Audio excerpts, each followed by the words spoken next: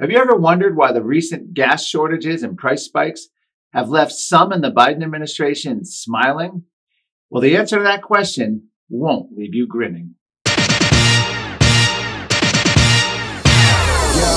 From Washington, D.C., it's the Morano Minute with your host, Marc Morano.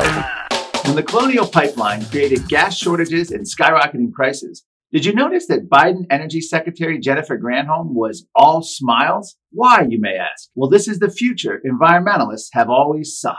In 2008, President Obama bragged about skyrocketing prices. Under my plan, electricity rates would necessarily skyrocket.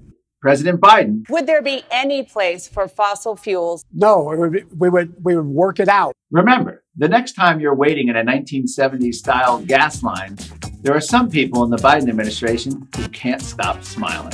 For more information, visit climatedepot.com.